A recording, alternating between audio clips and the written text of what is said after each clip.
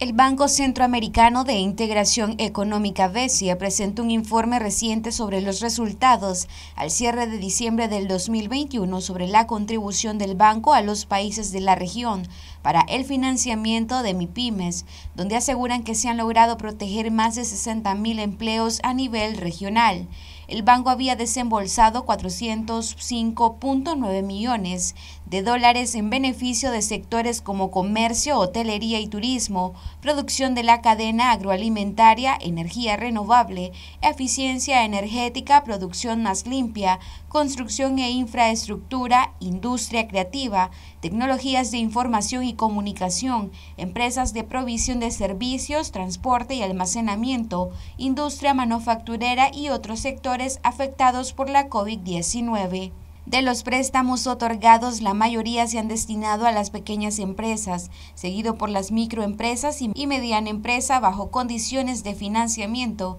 que varían de acuerdo con el tipo de emprendimiento, teniendo como monto máximo 5 millones de dólares. En el caso específico de Nicaragua, el Banco Centroamericano de Integración Económica estima que unos 35.508 empleados fueron beneficiados en el proyecto, siendo el segundo país con más personas favorecidas. El presidente ejecutivo del Banco Centroamericano de Integración Económica, Dante Mossi, dijo que existen al menos 1.3 millones de MIPIMES en la región que aportan cerca del 33% del Producto Interno Bruto, que generan más del 40% de los empleos y constituyen el 85% de la base productiva, por lo que desde el banco aseguran que es de vital importancia la protección de las pymes, la cual se traduce en empleo y bienestar de los habitantes de cada país de la región.